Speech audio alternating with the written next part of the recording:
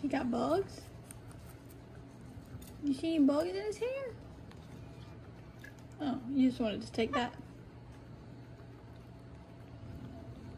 That's his.